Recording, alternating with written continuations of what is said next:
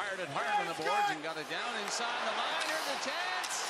A pass right in front, broken up by Holtby. He poke checked the puck away. Saved a goal, maybe. Penalty coming up.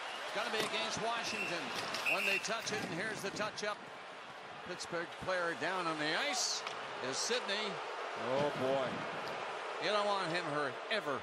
Oh boy, he got buried on this play, and this is a scene that nobody in hockey wants to see. And he's in trouble. And a penalty is called on this hit on Crosby. He doesn't stay down like that unless he has to. He's uh, feeling the pain. And Niskanen got him as he was going to the net. Cross check. And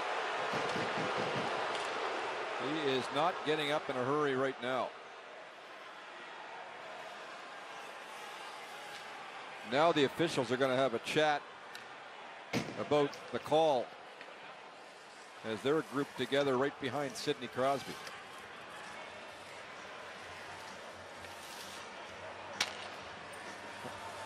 We're going to have a look at it when Sidney is back on his skates.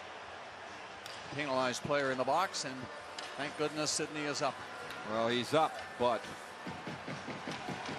barely. Yeah, but he's up. Thank goodness.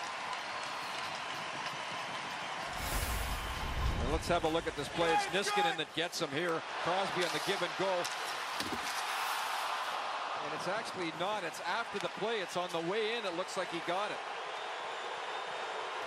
There. Oh, yeah, there's the cross check right in the head to Sidney Crosby by Niskanen. And anytime you, oh boy.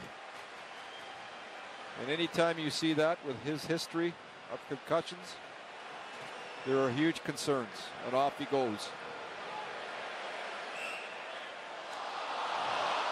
Crowd is just seeing it replayed now on the big clock at center ice here at PPG Paints Arena. And it's a five minute penalty. The referees changed it as it should be, as it was a cross check right to the head.